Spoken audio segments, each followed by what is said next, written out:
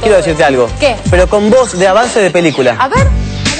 Dos superhéroes intentan detener los planes malvados de los malvados internacionales que secuestraron a las princesas. Mm, yo tengo otro para seguir la historia. Atrapados en el túnel del tiempo, deberán luchar con dragones y dinosaurios medievales. No, ¿y qué más? Buenísimo. ¡Qué Ah, sé, bueno! no te voy a contar lo que sigue. Está muy buena y es Sí. una obra de teatro encima. No me digas. Sí. Se puede ver sentado en una silla. Se puede ver sentado en una silla y Centro una butaca, señoras y señores. Conex, porque estamos hablando de los cazurros. Y ahora Pablo y Ernesto nos cuentan más de cerquita de qué se trata esta obra atrapada en el túnel del juego. Vamos a ver.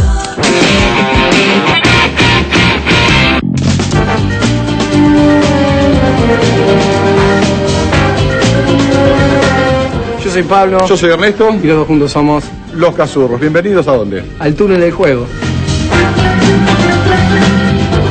Bueno, la idea de los cazurros en todos nuestros espectáculos es transformar el teatro en un espacio de juego. Como cuando éramos niños nosotros, invitábamos a nuestros amigos a jugar al cuarto de nuestra casa. Bueno, este es el cuarto de nuestra casa y todo esto es el lugar donde transformamos el juego en un espectáculo teatral.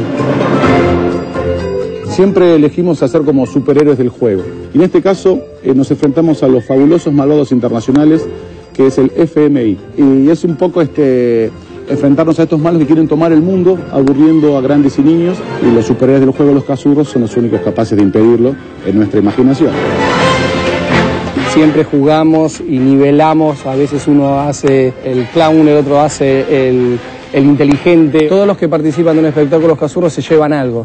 Y eso es lo que más feliz me hace. Después encontrar la devolución de que te digan, estoy jugando con un escobillón como haces vos, estoy jugando con esto como haces vos, estoy jugando a tener una aventura y el hecho de haber dejado por un rato la tecnología y el juego resuelto que nos da la tecnología a poner el cuerpo y a jugar es lo que más feliz me hace.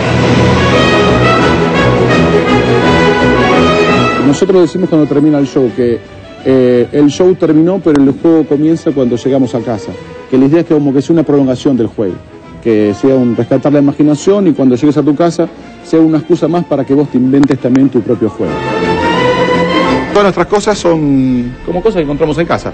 Tenemos acá las máquinas del futuro, que está hecho con un casco de obrero y un montón de juguetes más que tenemos para viajar por el tiempo. Tenemos el robot Roboloco. El robo loco que está hecho con un tacho de basura, con dos flaneras. Yo creo que te queda bien puesta. ¿Me queda bien puesta? Sí. Sai Rabalaca, Sai Rabalaca. Amigos, los esperamos a todos en el túnel del juego. Y aunque el show termina en el teatro, el juego comienza cuando llegamos a casa, recuérdelo. ¿Vamos a jugar? Vamos. Rodrigues! Oh, vamos! Oh, Oh.